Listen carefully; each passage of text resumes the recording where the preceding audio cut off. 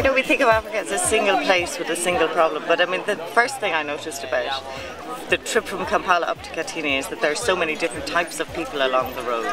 The people in Katine are different from the people who are two hours away. And what is distinctive about them, I think, is that they're a non-hierarchical society, and always were until the British came in and stuck a hierarchy on there and gave them chiefs and all the rest of it.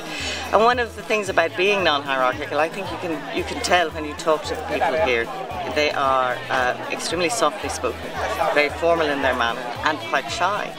Particularly the women, particularly the women. It's very difficult to get beneath the, the, the, women's shyness to see what might be the real current, the real demands and the real sense of uh, where the what they want and, and, and where they want to go.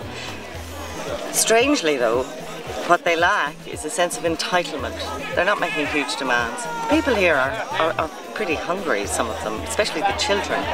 But I expected to hear lots of babies crying. I expected to hear that really, that thin, open sound that you know from when a baby needs food. But the children I met or saw were quiet, were silent.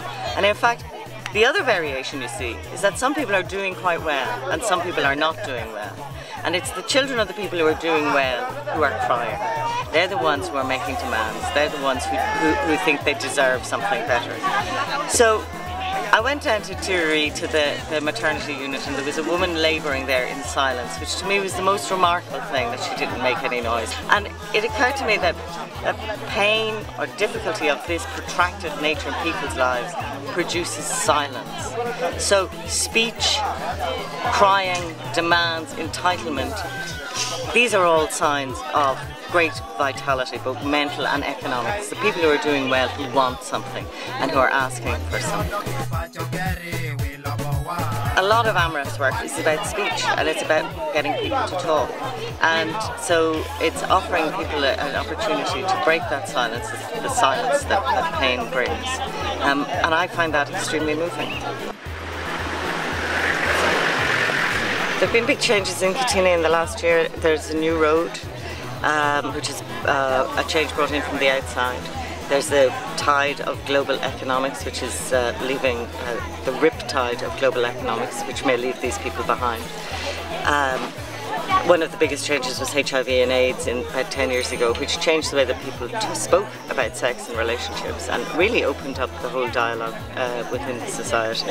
So the language you hear from AMREF and from international aid in general is one of uh, endless acronyms, VHTs, PMCs, and what these are are, are are committees in which people get together and discuss and it's hard to see what effect sitting around and discussing anything is going to have, except to me, it's, it's a profound thing for people to be able to talk about their lives, to be able to, to, to ride the, out, the changes that come in from outside, and to start to make small changes in their own local area that, that somehow gives them more control.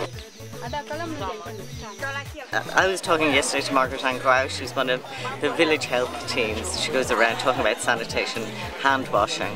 Uh, I mean, hand washing, if we should bring her to Europe and get her into the hospitals and tell people about hand washing, it's an extremely simple message, but nobody seems to get it. And yet, she's plugging away at of this. The most remarkable thing is, she's not paid for the work she does. She's immensely proud, she's very strongly motivated. Uh, she, she gets a great fillip from doing this work. The place she lives is pristine and, uh, uh, uh, uh and thriving, you might say. The last thing she said, when I asked her did she have anything she wanted to add, was she said, I want to say thank you for uh, helping people to get a step ahead. And when the line between getting ahead and sinking is so absolute. Um, I think it's a, it's a wonderful thing to be able to do that.